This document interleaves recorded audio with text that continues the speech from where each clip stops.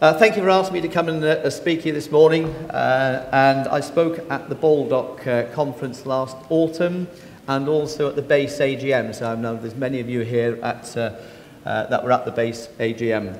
And um, that's who we are. Uh, we're a Latin family business based in Huntingdon and uh, in Oxfordshire. So we're, we were invited as a result of the talks that uh, I gave at the BASE and also Baldock to, uh, to pull together a few farmers in, uh, to do some benchmarking on no-till. We've been benchmarking in LFB, or I've personally been benchmarking since 1992, so a lot of data uh, so, uh, coming through. And um, so we were asked to benchmark around about a dozen farmers uh, who've been no-tilling for some time. And I'm going to present some of the results and comparing no-till to conventional farming. Okay, so what, one of the first things I want to do is to go back to the, and so this, there's no slide on this, back to the BASE talk, and you, you, you in, in, in BASE who were there can remember this. So some of the key points of where are we now, I wanted to just to rehearse. Number one, we're on a treadmill, being locked into a system at the moment. And this is conventional farming, not, uh, not no-till. Number two, where labour and machinery must be kept working and every productive area cropped. Number three, yield is king, and that's where I've been doing, doing the last 20 odd years, as you, some of you heard me speak before. We've seen a dash for land grab, uh, with key money paid for extra land, FBTs, contract farming, etc., uh, where we're spreading fixed costs or not spreading fixed costs depending, and all supported by EU payments. So that's where, that's where we've been, and that's where we, we've come from, and that's where, that's, I think that's why we're all questioning that now, and that's why we're all here, I guess. So that was the background I wanted to go through in the BASE talk. So uh, going, moving on to the benchmarking itself, and I'm con controlling this. So yeah, so that works quite well. So the background is we, we, look, we were going to look at the 2017 harvest, which we have done based in East Anglia, so all of these are fairly local, and people who've been doing no-till for many years. Okay, so we, we thought we'd ask a few questions around about the, the uh, not just the financial, a bit of background. So you can see down the bottom here um, the drills. It's all, all about the drills, so no, nearly all about the drills. So John Deere, um, uh, 750 66%. Now, one thing you'll see that not, those don't add up to 100%. So many, many of the people in the group had more than one drill. Okay, 66, 16, 33, and 33 don't add up to 100. So those are the sort of drills that most people had. Okay, so that's some of the background we went in to see, to look at. What, one of the other things that I personally wanted to do as well was to look at this. We've, we've got this um, this uh, correlation between soil and yield in no-till. So this, these are just the first indication. Um, oh, sorry, that was one before that. So the reasons, sorry, I pulled over two pages. Uh, the, the, re the reasons we wanted to uh, uh, look at as well. So financial reasons, 42%. Now, I would sort of question whether, whether the, the, they were quantified.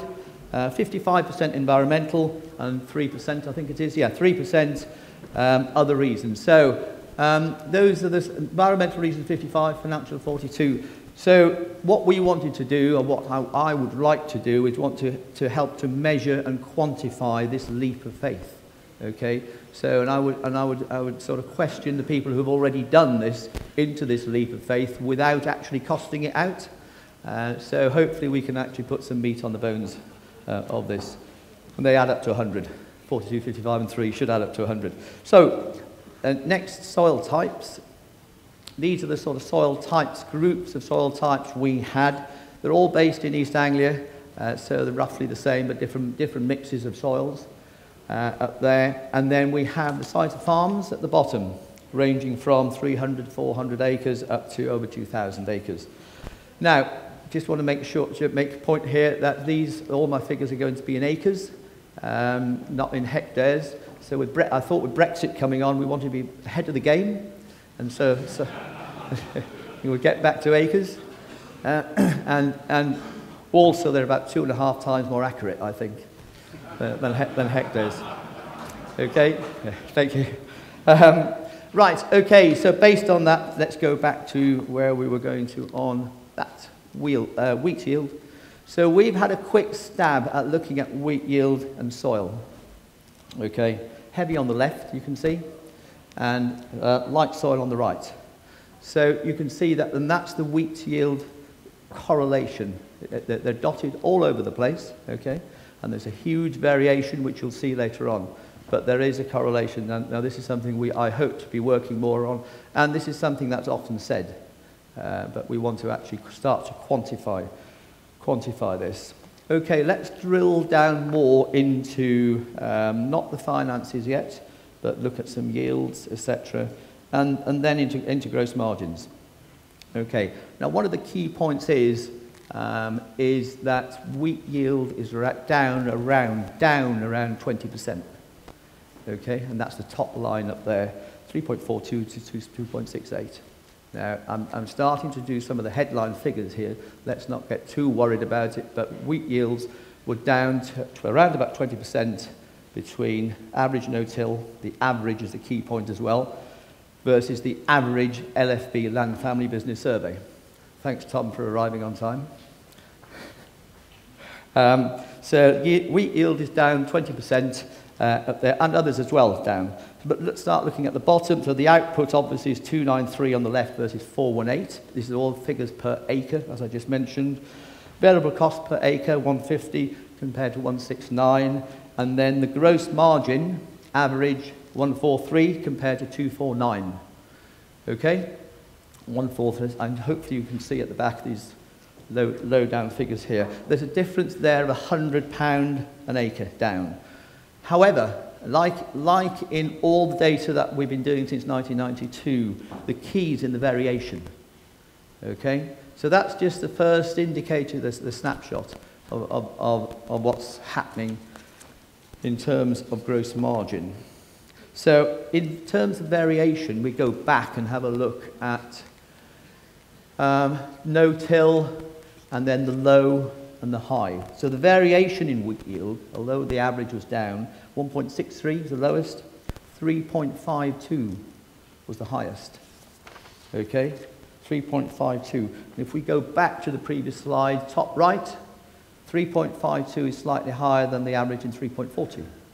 Okay, so there is a variation. Some people are managing wheat yields in no-till higher than um, higher than in conventional farming, if you want to call it conventional farming. Okay, so yields in tonnes per acre, variable cost down, um, down to the bottom.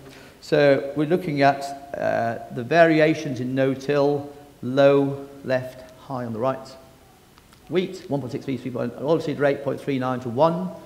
Uh, barley, 1.26 to 3.29. Um, variable cost, 91 to 186. So you can see, and the, the, we've, see, we've seen these variations in, in the benchmarking we've been doing since 1992. There's exactly the same range of variations. Gross margin ranging down from 88 up to 241. Now 241 is in, in, up in with the highest, uh, with, the, with the average in conventional farming. Okay, so this, so we can see down on average, but huge variation is the conclusion at this, at this moment. Okay. So let's now look at some of the costs, and this may be uh, an interesting area. Labour and machinery costs. Costs are down 43%, labour and machinery costs, where the no-till average is 120 pounds per acre, and our uh, standard benchmarking is 213. Okay, so there's a huge drop in costs, and this is what you're expecting. So what we've seen is drop on average in in yields, gross margin, and costs. Okay, so this now it's starting to get a bit interesting, I think. Um, so let's look at some of these costs in more detail now.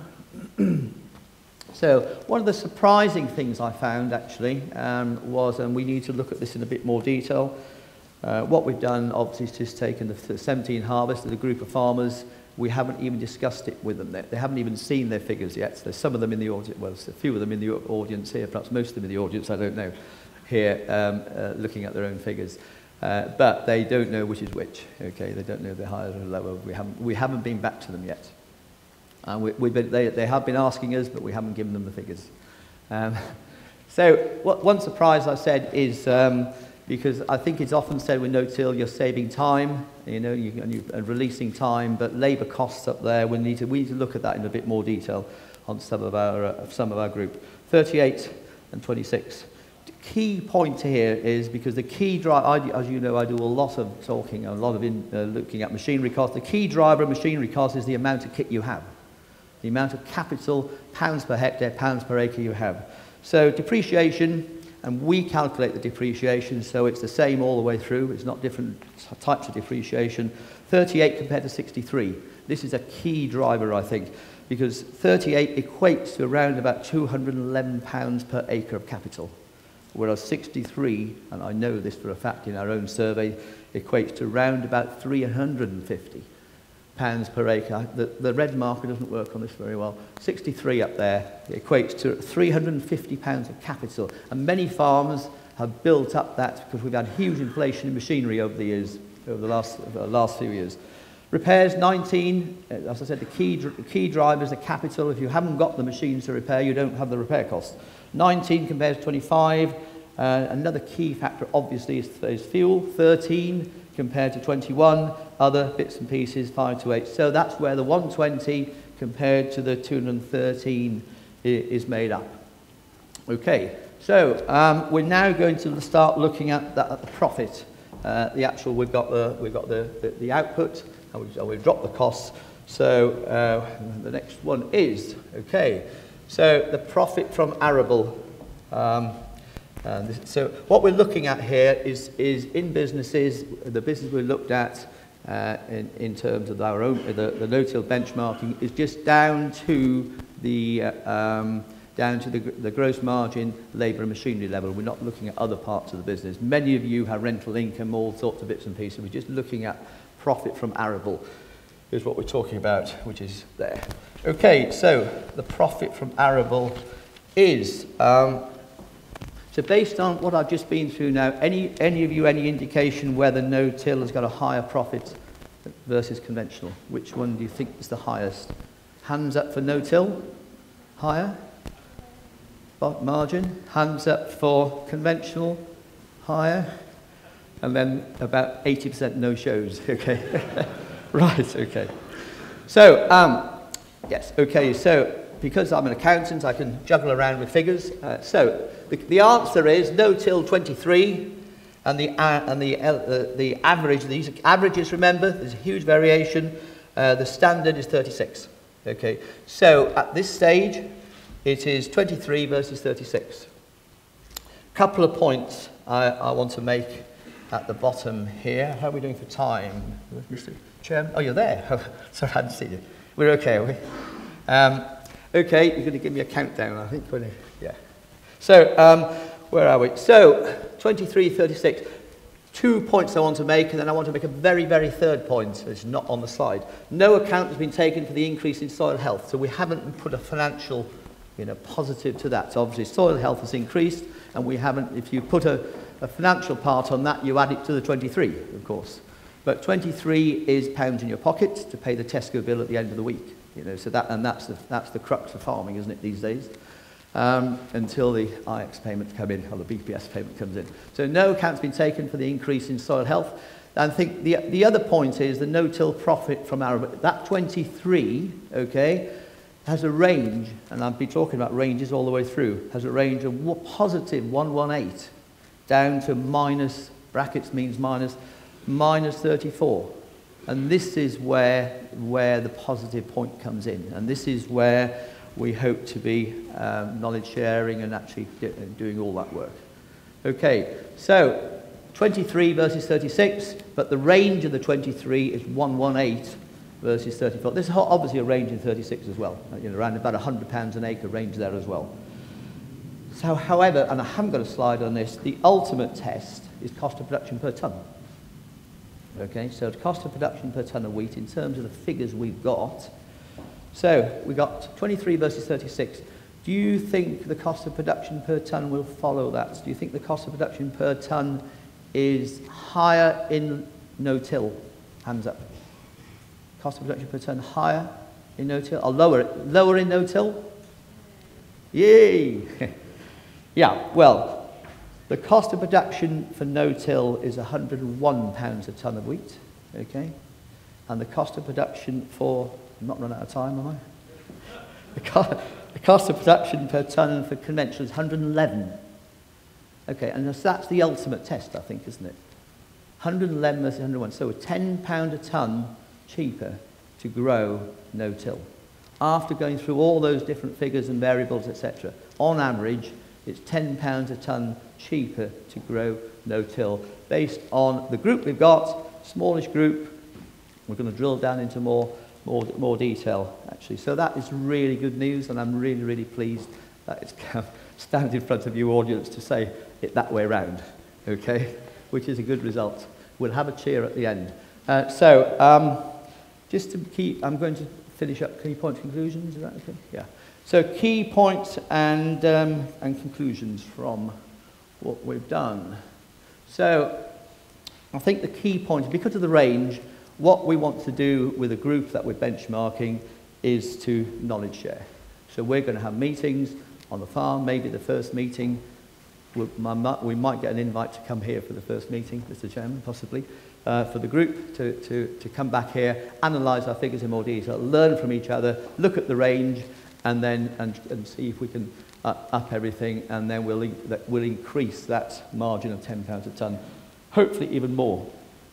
So, just to conclude, and, and I don't know how many of you, of you many of you have heard me talking recently in the BASE talk and that sort of thing, but obviously before that, my, my yield is king talks were will yield is king, unfortunately. So, um, so I have been, you know, I've been enlightened, I guess, by, by carry, asking to carry out this benchmark and, and being involved with BASE, etc., over the last 12 months or so, or so. It's really opened my eyes, I must admit. So yield is king. We need a different approach uh, and way of thinking to yield is king, um, which is why you're all here. So, and I think the other thing I've learned as well, we need, we need individuals who question convention, uh, take risks, uh, which, which, is, which is part of what I've just learnt uh, as well in the last 12 months. Innovative. Um, but what, you know, where are these people? And I would say these people are at Groundswell, and you're in this room.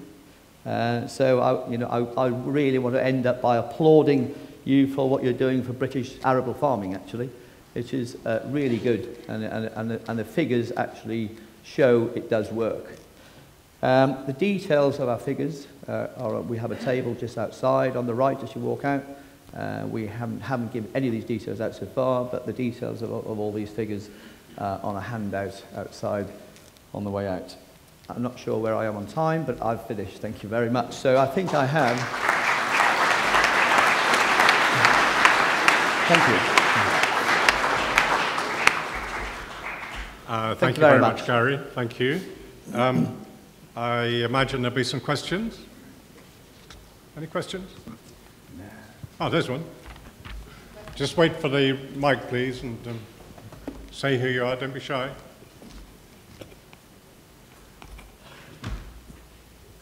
Cheers. Hi there, uh, Ryan Hudson, agronomist. Um, I was just wondering, Gary, what the sample area, if you've got it for the no-till against the, the sort of conventional system, what I can't remember you said what the area was on the sample for the no-till. Sorry, I can't see where you are, sorry. Oh, there. There. No, sorry, I've yeah. got you.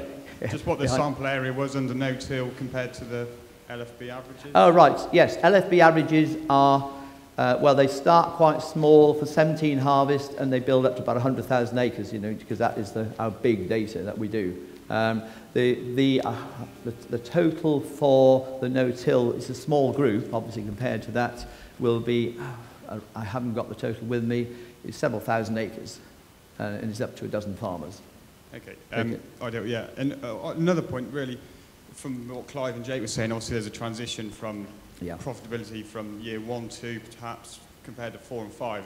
Are you able to sort of tease out how long those guys have been in no-till and the, and the change in terms of year one and two against Absolutely. five and six, yeah, perhaps? yeah, sure. And that's some work I've done in the past. Very interesting question that, because I have concluded in the past that, uh, and work I did many years ago for articles in Farmers Weekly, I believe, is, is uh, uh, where you have to reinvest and re, re-sort out your kit, etc. And, um, and the drop in yield that you have initially in those first two or three years, it's, it's a big leap of faith and it's a big hit to the bottom line. And I, in the past, I have concluded that many farms couldn't afford to do it. Okay? And, it's, and so it's a very good question. Um, the, the no-tillers that we were asked to look at have been doing it for some time. As a very, in, in the, one of the very early slides actually said, been no-tilling for six or seven years.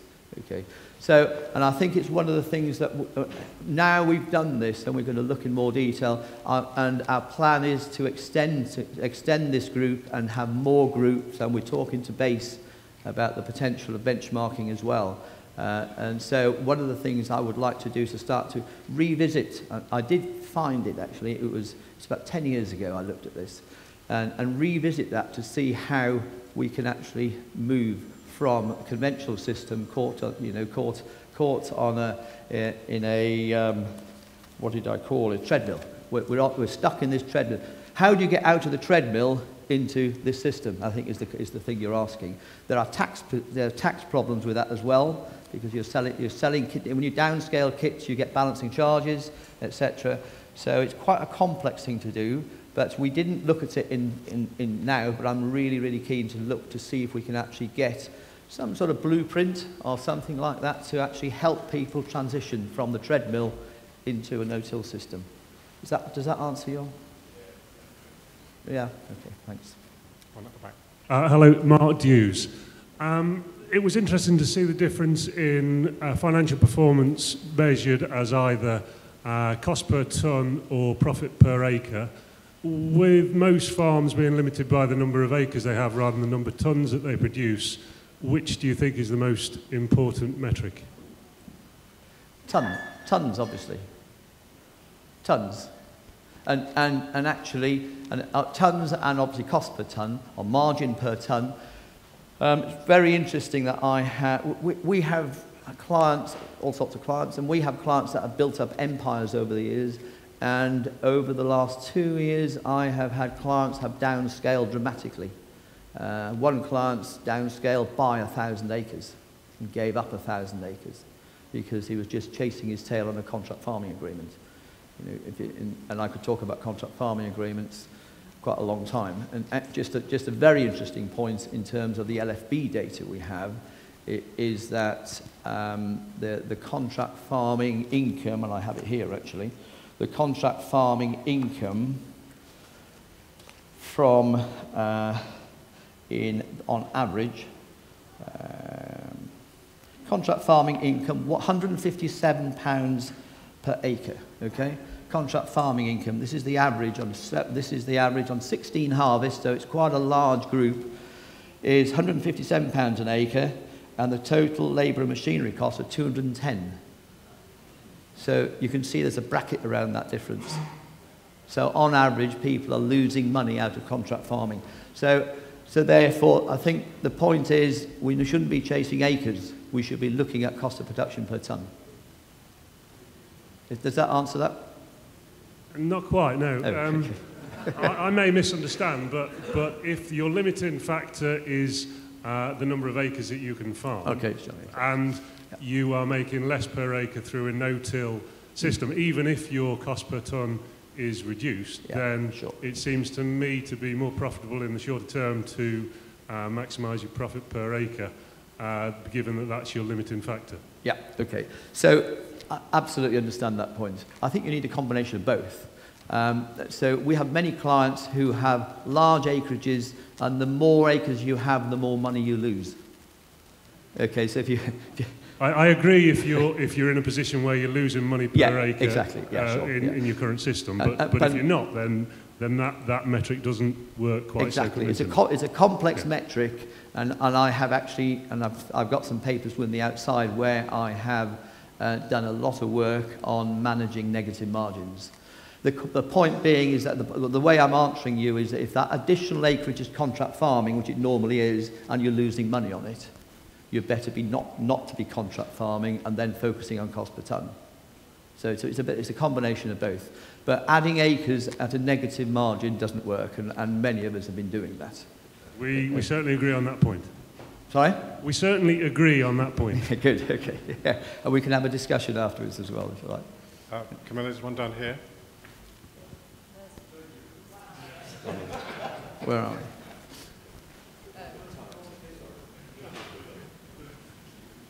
the crutches front. Thank you very much.